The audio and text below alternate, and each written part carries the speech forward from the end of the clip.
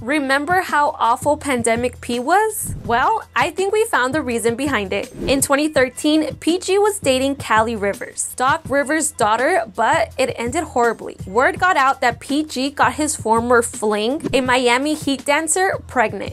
After some back and forth, PG and Daniela chose to share custody of the child while living their own individual lives. And while Callie has moved on and since married Seth Curry, PG was put in an awkward position of being coached by his ex's dad on the Clippers. Now we know why that didn't work out. After the custody issue, PG reportedly dated former playmate Jessica Burciaga. After this, George was seeing Destiny Marie and even posted her as his Woman Crush Wednesday on IG. But not much else is known about her. Surprisingly, George and Daniela chose to get back together when he was traded to OKC. In 2020, he put a ring on it and now they're proud parents of three beautiful kids.